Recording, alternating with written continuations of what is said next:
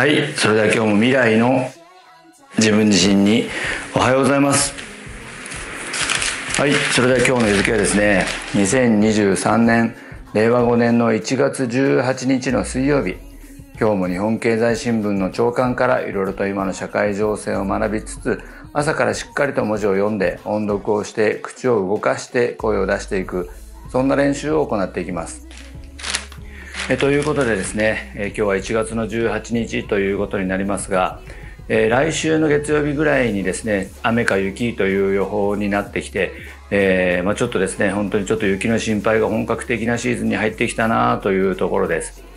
で、えー、今日はですね気温が12度ぐらいまで上がるということで昨日がですね最高気温が8度か、え、9度ぐらいということだったのでそれに比べれば少し暖かではありますけれどもやはりですね朝晩は本当に冷え込むしで来週の月曜日に先ほど言ったように、まあ、雨か雪の心配が出てくるということで、え、本当にですね、まあ、寒い日は1桁台、えー、暖かくなっても11、2度というような、え、気温が続くという厳冬の期間に入ってくるので、体調管理には気をつけていきたいなと思ってますが。えー、個人的にもですねこの近所自分たちが住んでいる地域の周り、まあ、いろんな地域で同じだと思いますけれども最近はですね建物の取り壊しだとかそれから下水道の工事なども多くてえー、その工事があるとですね、まあ、本当に、えー、道路の交通整理のために警備員の方が立ってくださってるわけですけども、まあ、そういう方々方がですね本当に立ってるだけでも寒そうな姿を見ていると本当にですね体調管理に気をつけてほしいなと思って、えー、感じるし本当にそういう方々がですね、まあ、苦労な、えー、苦労なさってそして交通安全を呼びかけてくださることによって私たちもそうだし、まあ、お年寄りとか子どもたちもですね、えー、建設現場の周りで事故に遭うようなこと確率が少なくなってくるはずなので本当にありがたいなというふうに思いますしまあ、そういうですね、まあ、一人一人、えー、与えられた役割というものが違う中で社会が成り立っているのでみんながですね協力や理解をし合って本当にいい世の中いい社会というものを作っていきたいなというふうに感じます。ということで今日もですねまずは昨日の日経平均株価の終値を確認しておくと昨日の日経平均株価の終値は2万6138円68銭2万6138円68銭ということで、おとといに比べると、プラス316円、えー、36銭、まあ、先週の金曜日に比べるとですね、プラス316円36銭ということで、300円を超える幅ではありますけれども、ね、値上がりということで、2万6000円台は回復したところでした。エンドル相場については1ドル128円71銭から73銭、1ドル128円71銭から73銭ということでこちらは先週末の金曜日に比べると74銭安。74銭安ということなので、まあ、ほとんど動きはなかったということで、えーえー、為替市場もですね以前、まあ、ここ何日か同じ話になると思いますけれども、えー、ちょっと前に比べるとですね135円台134円台、えー、というようにな時期に比べると120円台の後半で、え、少しですね円安傾向というものも本当に一息というような動きになっているように見えますね。で今日ですね音読の題材に取り上げたいのは、まあ、社説から2つとも取り上げたいと思いますけれども1つはですね、え、1つ目は社説の、え、1本目から、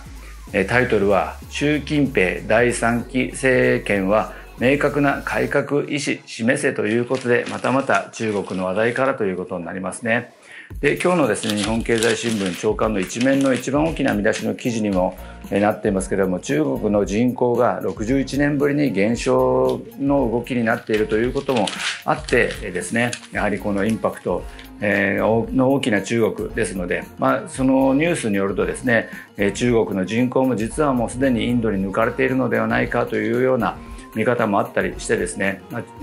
アジアで言えば本当に日本は中国の隣になるので中国経済に受ける影響が大きいのでたびたび社説ではですね中国の話題に翻弄されているというような感じが否めなくもないなというところです。習近平第3期政権は明確な改革意思示せ。中国が長く謳歌してきた経済成長を支える構造が揺らいでいる。2022年の実質成長率は3%にとどまった。これは新型コロナウイルス感染症を厳しく抑え込んだゼロコロナを含む複合的な政策不況だ。放置は許されない。共産党トップとして3期目入りした習近平氏は経済浮揚に向けて明確な改革の意思を示すべきだ。中国の2022年10月から12月の実質成長率は前年同期比で2.9%増だった。7月から9月の3.9%増から減速。消費投資とも不振の傾向はゼロコロナ緩和後の感染爆発も重なって年明け後も続く。2022年通年では政府目標5.5%前後を2.5ポイントも下回る異常事態である。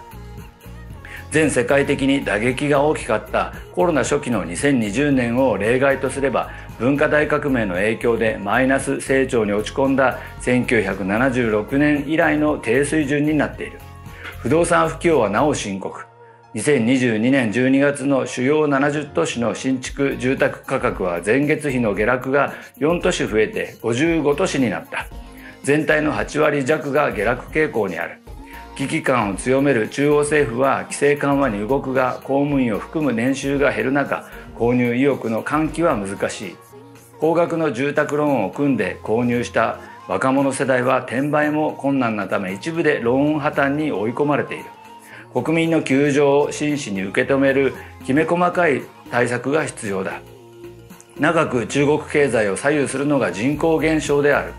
2022年末の総人口は14億1175万人で2021年末から85万人減った。61年ぶりの減少だ。少子化労働人口の減少急速な高齢化の進行は成長の大きな下押し下押し要因になる。抜本的な対策が求められている。強い権限を持つ習氏は経済活性化に向けて方針転換する必要がある。まず資本の無秩序な拡張防止に代表される民間企業の自由な経済活動を制限する施策をはっきり撤回すべきだ。有力な民間 IT 企業を摘出すれば雇用が減り成長の余地も狭まる。中国経済の牽引役は国有企業ではない。ビジネス上の嗅覚の鋭さと技術力を兼ね備えた民間大企業とそれを支える中小企業群。彼らが意欲を失えば景気への影響は甚大である。統制色を強める習体制はそれを忘れている。今後重要になるのは3月に発足する中国政府の新体制が打ち出す経済政策だ。特に現在の李克強首相に代わる新たな首相の手腕が鍵を握る。注目したい。ということで、まあ、本当に中国の話題が毎回毎回ですね、こと書かないというか、話題をいろいろと振りまいてくれてますけれども、中国も人口が減っているということですが、とっくの昔に日本はですね、もう、えー、少子化、高齢化が中国以上に進んでいるし、そしてですね、人口減少というものも顕著なので、私たち日本がですね、なかなかそれに対する対策を、えー、打ち出しきれない中でですね、なかなか中国に物を言うというのも、えー、少しですね、なんか分かりにくいところもありますけれども、えー、まあ、同じ問題を共有するアジアのですね隣同士の国として協力できるところはし合いながらそして刺激を与え合えるところは刺激を与え合いながらお互いにですね、まあ、これから先も切磋琢磨していくことができるような関係性を築けるといいのではないかなと思ったりもします。そして2つ目のですね音読の題材については、えー、この社説の2つ目ですね、今度は国内問題になりますけれども、えー、とですね持続的な賃上げへ果敢な一歩というタイトルになっています。まあ、国内問題でのですね、賃上げに関する話題ということになりますね。まあ、もう少しでですね、本当に春闘が本格的になってくる、動き始めるという中で、えの、まあ、この今年、今年に関するですね、話題の大きなテーマになる賃上げというキーワードが入っているので、これを2つ目の音読の題材として学んでみたいと思います。持続的賃上げ果敢な一歩物価高が進む中で賃上げをめぐる春の労使交渉が始まる。長らく停滞する日本の賃金を継続的に上昇させる転換点とすべきだ。経団連は1月17日、交渉の指針となる経営労働政策特別委員会報告をまとめた。物価動向を特に重視して企業の社会的な責務として賃上げへの積極的な対応を呼びかけると表明。基本給を引き上げるベースアップについて前向きに検討することが望まれると例年より踏み込んだ。物価上昇で実質賃金は目減りが続き、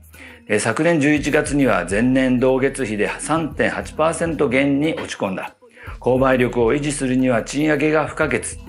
積極的な賃上げで消費を喚起して企業収益の拡大を通じてさらなる賃金上昇につなげるという好循環を取り戻す時だ。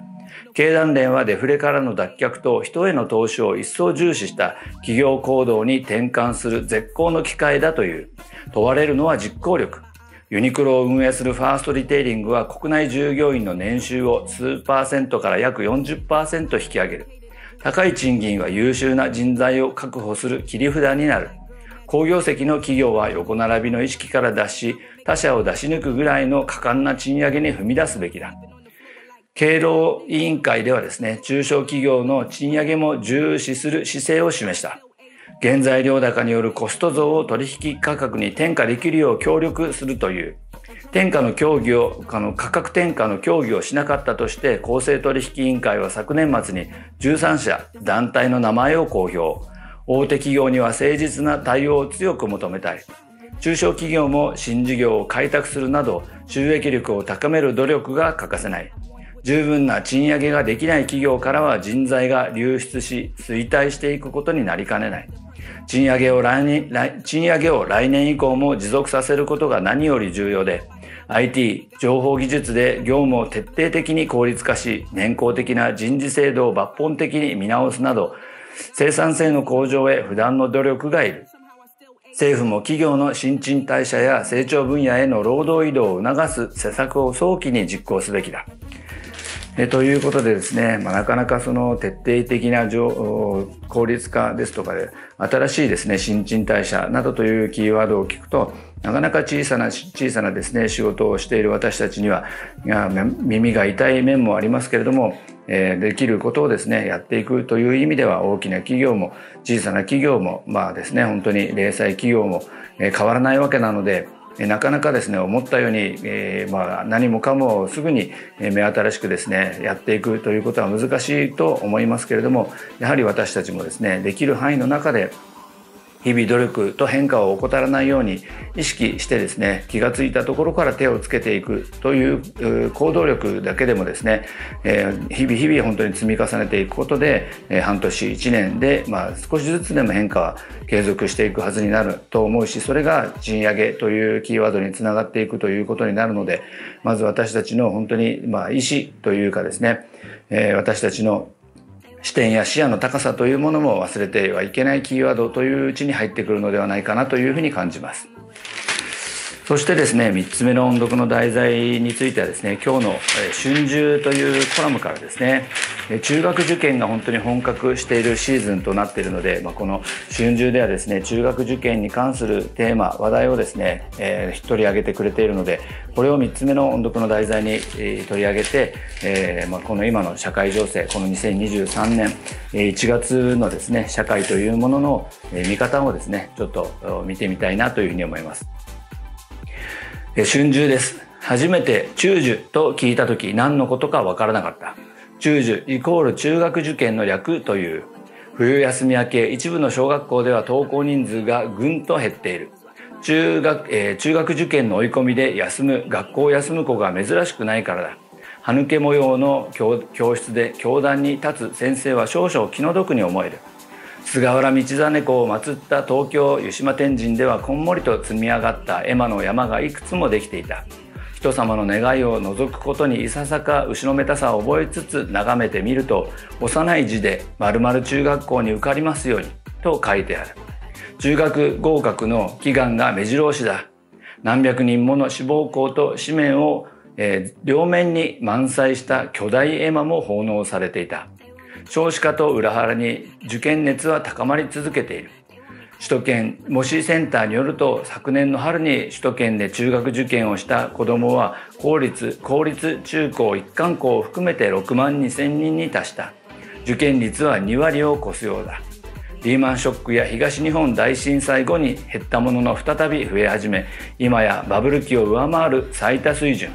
塾に通い始める年齢も早まっている。より良い環境をと願うのは自然で他方で加熱や格差が心配にもなる。教育ジャーナリストの太田利正さんは結果は一瞬の状態を写した一枚の写真に過ぎないという。まだ小学生十字の先にも嬉し涙や悔し涙がいくらでもある。学問の神様はのんびり頑張る子も必ず見ている。ということでですね本当に、中学受験、の季節に入ってくると、本当に幼い子どもたちがですね、早くから塾に通い始めてそしてですね中学受験というなんだかよくわからないうちに巻き込まれるような、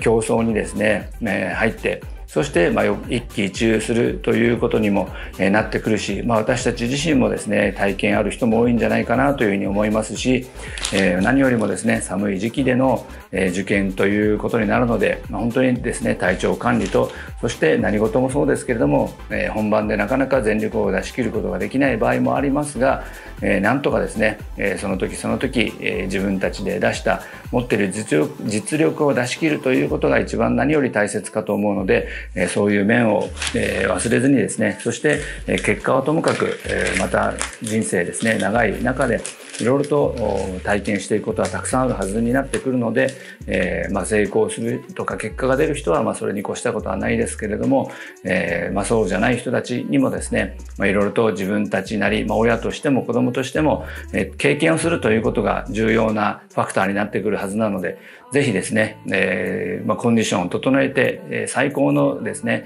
実力を出し切るということを意識して、え、乗り切ってほしいなというふうに思います。ということで今日は2023年令和5年の1月18日の、えー、水曜日。今日という一日も本当に地味で平凡で取り立てて大きな変化を感じることがない一日になると思いますけれども自分なりに0.1ミリずつの小さな小さな点を日々打ち続けることによってやがてその点と点が何かのきっかけで線で結ばれることがあれば大きな変化を体感できることもあるかもしれないしこうした何でもない平凡な一日を感謝して過ごすことによって心が豊かな生活を体感できるので今日も一日笑顔で元気よく頑張っていきましょう。それでは